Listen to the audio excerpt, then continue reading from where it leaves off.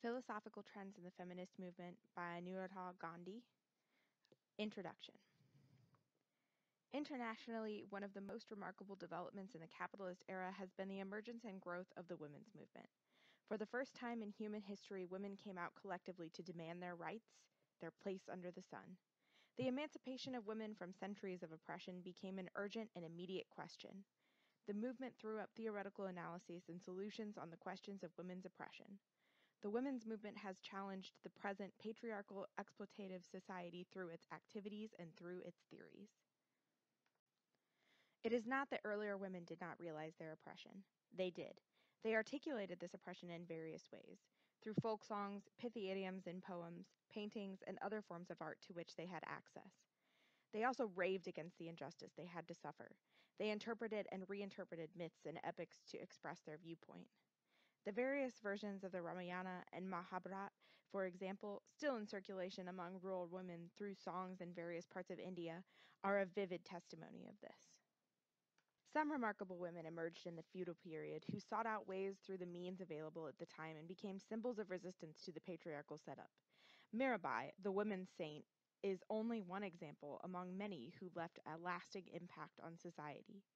This is time for all societies in the world. This was a counterculture, reflecting a consciousness of the oppressed, but it was limited by circumstances and was unable to find a way out, a path to end the oppression. In most cases, they sought a solution in religion or a personal God. The development of capitalism brought about a tremendous change in social conditions and thinking. The concept of democracy meant people became important. Liberalism as a social and political philosophy led the change in its early phase. Women from the progressive social classes came forward as a collective. Thus, for the first time in history, a woman's own movement emerged that demanded from society their rights and emancipation. This movement has, like all other social movements, had its flows and ebbs. The impact of capitalism, however constricted and distorted in the colonies like India, had their impact on progressive men and women. A women's own movement in India emerged in the first part of the 20th century. It was part of this international ferment and yet rooted in the contradictions of Indian society. The theories that emerged in capitalist countries found their way to India and got applied to Indian conditions. The same is true in an even more sharp way in the context of the contemporary women's movement that arose in the late 1960s in the West. The contemporary women's movement had posed many more challenges before society because the limits of capitalism in its imperialist phase are now nakedly clear. It had taken much struggle to gain formal legitimacy for the demand for equality. And even after that, equality was still unrealized, not just in backward countries, but even in advanced capitalist countries like USA and France. The women's movement now looked for the roots of oppression in the very system of society itself. The women's movement analyzed the system of patriarchy and sought the origins of patriarchy in history. They grappled with the social sciences and showed up the male bias inherent in them.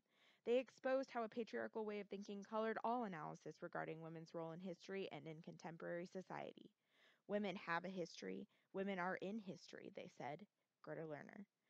From studies of history, they retrieved the contributions women had made to the development of human society, to major movements and struggles. They also exposed the gender based division of labor under capitalism that relegated an overwhelming majority of women to the least skilled, lowest paid categories. They exposed the way ruling classes, especially the capitalist class, had economically gained from the patriarchy. They exposed the patriarchal bias of the state, its laws, and regulations. The feminists analyzed the symbols and traditions of a given society and showed how they perpetuate a patriarchal system. The feminists gave importance to the oral tradition, and thus were able to bring to the surface the voice of the women suppressed throughout history. The movement forced men and women to look critically at their own attitudes and thoughts, their actions and words regarding women. The movement challenged various patriarchal anti women attitudes that tainted even progressive and revolutionary movements and affected women's participation in them.